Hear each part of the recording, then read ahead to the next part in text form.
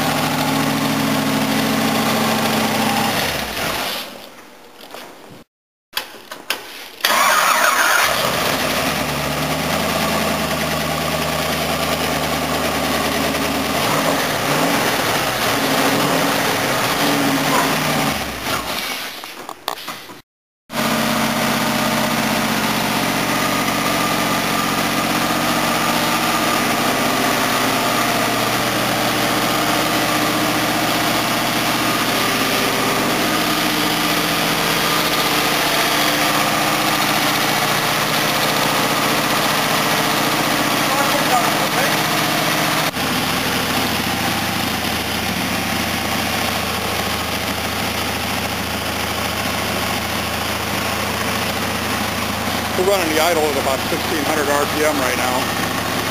It's got about 170 degree water temperature.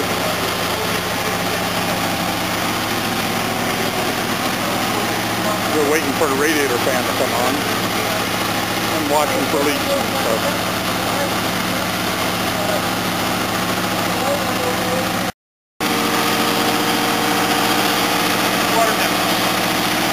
We're watching the water temperature and uh, going to bring the temperature up so we can see when the radiator fan comes on because that's supposed to be controlled by the ECM.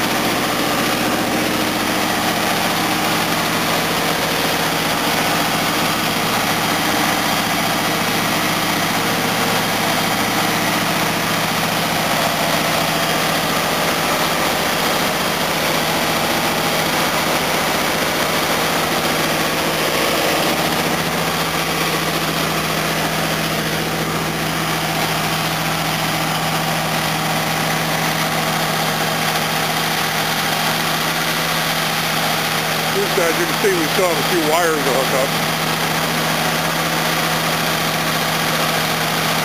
Still got some decorating to do, but it runs. We got the cooling system all hooked up and the, uh, uh, including the new radiator in, and we got the exhaust system built and the uh, air, air induction system on there.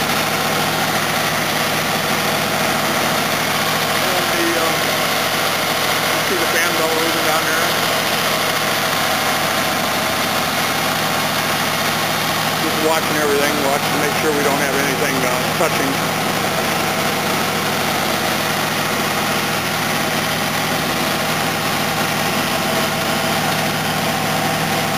Well, that's it for now. We're going to run it for a little while, check the temperatures, watch the idle, and all that kind of stuff.